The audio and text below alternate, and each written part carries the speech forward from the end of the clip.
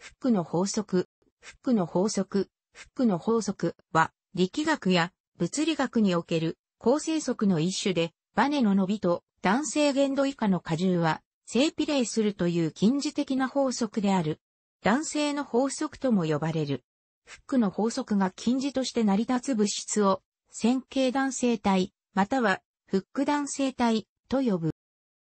フックの法則は17世紀のイギリスの物理学者、ロバート・フックが提唱したものであり、彼の名をとって、フックの法則と名付けられた。フックは1676年にラテン語のアナグラムでこの法則を記述し、1678年にアナグラムの答えが、すなわち、であると発表した。フックの法則に従う経営では、荷重は伸びに、正比例し、と表される。ここで、この法則が適用できるとき、その挙動は線形と呼ばれ、グラフに表すと、正比例の直線グラフとなる。また、反力は常に X 変異の反対方向へと働くため、数式の右辺には負の符号がつく。例えばバネを右へと伸ばしたとき、バネは左に向かって引きつける。上の式が成り立つのは、フォーミュラ4が比較的小さい場合である。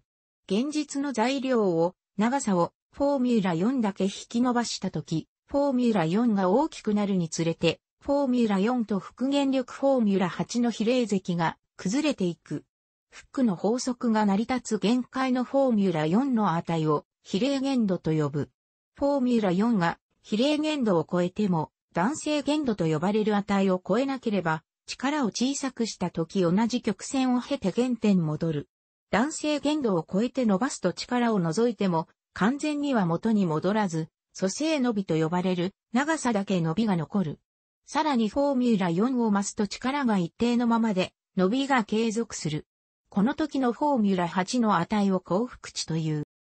男性体は荷重を加えると変形を起こすが、除にすると元の形へと戻る。すなわち、物質中の分子や原子が初期の安定な釣り合い状態へと戻る性質を持つ。こうした男性体は多くの場合フックの法則に従う。長さ L、M と断面積 A、M を持つ男性材料からできた棒を線形なバネとみなしたとき、その歪みフォーミュラ13、単位なしは、引っ張り応力、シグマ、ニュートンマイメートルに比例し、男性係数と呼ばれる定数、E、ニュートンマイメートルに反比例する。よって、または、である。フックの法則は限定された荷重条件下におけるいくつかの材料に関してのみ成り立つ。鋼を工学的に応用するとき、多くの場合において線形男性の挙動を示す。よって、フックの法則はその男性域、すなわち幸福応力より下の応力において成立する。しかしアルミニウムのような一部の材料においては、フックの法則は男性域の一部でしか成り立たない。このような材料では、体力と呼ばれる比例限度が定義され、比例限度以下においてのみ、線形近似と実際の挙動との誤差を無視することができる。ゴムは一般には、非フック男性に敏感であるためである。フックの法則の応用としては、バネを用いた測りや材料の応力解析、モデル化などがある。最もよく使われる形式のフックの法則は、おそらくバネの方程式だろう。バネの方程式では、力とバネの自然長からの伸びが、バネ定数フォーミュラ3、単位は単位長さあたりの力によって結びつけられている。マイナスの符号はバネによる力が変異とは、正反対の方向に働くことを示している。この力は K を釣り合いの状態へ戻すように働くため、復元力と呼ばれる。バネに蓄えられたポテンシャルエネルギーは、で与えられる。このエネルギーの式はバネを徐々に押し縮めていくのに、必要なエネルギーを足し合わせることで得られる。すなわち、力を距離に関して積分しているに等しい。バネのポテンシャルエネルギーは常に符号が正である。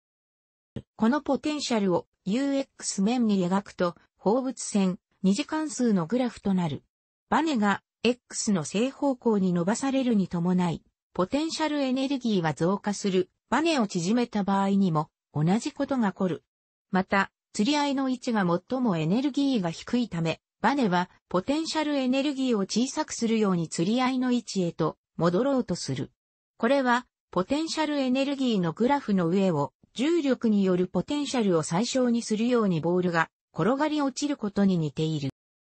もし質量メートルの物体がこのようなバネにつながれている場合、その径は調和振動子となる。この径は以下の式で与えられる基本周波数で振動する。または、ここでフォーミュラ15は周波数よってフォーミュラ16である。様々な格子のバネ係数などについては口述する。二つのバネが物体につながれている場合、バネ定数やエネルギーなどは全体として以下のような値を持つ。三次元の応力が働いている状態では、81個の男性係数を持つ4回の男性係数テンソル、応力テンソル、歪みテンソル、フォーミュラ19、またはグリーンの歪みテンソルが定義され、以下の関係を持つ。男性係数テンソルは81個の男性係数を持っているが、応力テンソル、歪みテンソル、合成テンソルの対称性により、違法性を示す物質でも21個の男性係数のみが独立である。応力は圧力の単位で表され、歪みは無次元量であるとき、フォーミュラ17の成分も圧力の単位で表される。大歪みに関しての一般化としては、ネオフック個体によって与えられる。東方性物質はその性質が方向によって変化することのない物質のことである。そのため東方性物質に関連する物理の方程式は、その形を表す座標形によることはない。歪みテンソルは対象テンソルとなる。どのようなテンソルの後も座標形によらないため、対象テンソルの最も完全な座標形非依存の分解の方法は、対象テンソルを定数テンソルと後が例の対象テンソルの和として表現する方法である。よって、